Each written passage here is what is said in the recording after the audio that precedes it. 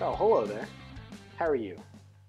I'm Steve Harper with The Ripple Effect, and I'm here to talk to you about a very serious issue. It's called phone dependency.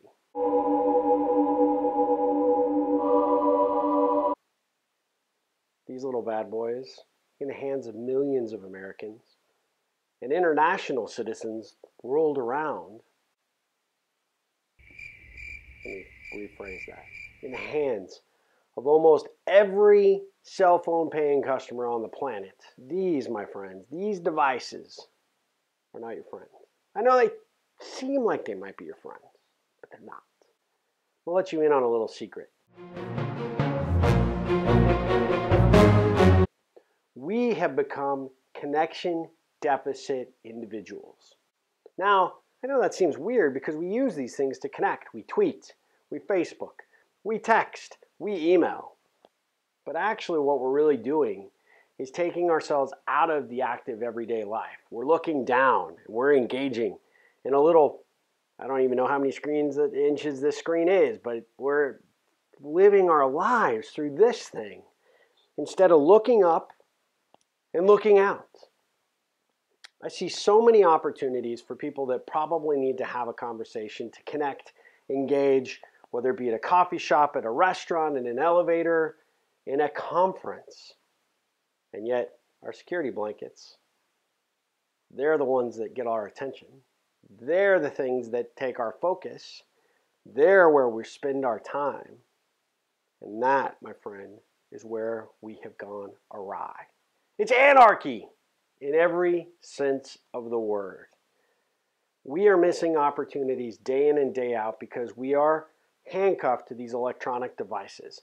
And we feel this unbelievable, compelling pull to, to, to totally check in, to always be on our email, to always be checking our Facebook, always to be tweeting, always to be Instagramming. I mean, no offense, but if I see another picture of somebody's food, I'm going to scream. Hey, by the way, did you see mine today of my salad? It was really awesome. Um, I'm talking about other people, not necessarily me. But the reality is, these things are preventing us from being a connected society. In fact, they are, by and large, preventing us from being able to experience life for what it was meant to be face to face, belly to belly, conversation with complete strangers, friends, coworkers, our direct reports, our manager. These devices take part of our brain and take part of our attention and our focus away from our circumstances. And we miss key opportunities because of it. When you and I look face to face, we have those conversations, and I can look you in the eye, and I know you're not distracted by checking the Facebook. I know you're here, you're fully present, and you're aware that the conversation I'm having I deem important and critical. And I hope you do the same. But I see an entire generation, now multi generations of people that don't know how to put these damn things down. They don't know how to have a conversation and they don't know how to engage, let alone people they know, but more importantly, people that they don't know. These are not our friends. These are a distraction. They are our electronic handcuffs that have grown way too tight. Find a way to set yourself apart find a way to pick that head up, look out, and engage. I'm a believer that the people who are supposed to cross your path in life do exactly at the time that they're supposed to. But if we're so mirrored in this, is it mirrored? Mired? We're so focused on our Facebook news feed, we're missing out. And guaranteed you will miss some opportunities along the way.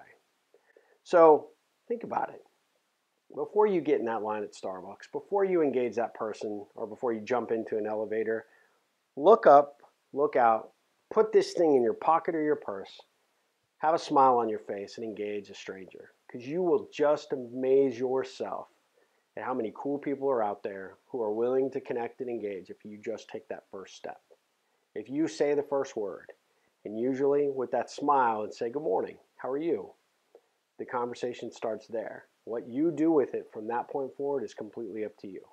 But I will tell you from firsthand experience, it is the most, absolutely most rewarding thing you can ever do.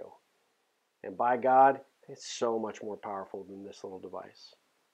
But those people you connect with, don't forget to friend them on Facebook or connect with them on LinkedIn. Totally kidding. Please do not do that because that'd be creepy and stalkerish. Uh, but the reality is this put the devices away.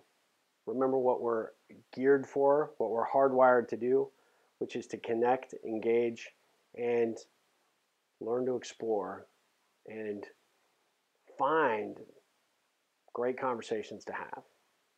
Until next time, I'm Steve Harper with The Ripple Effect. Ripple on.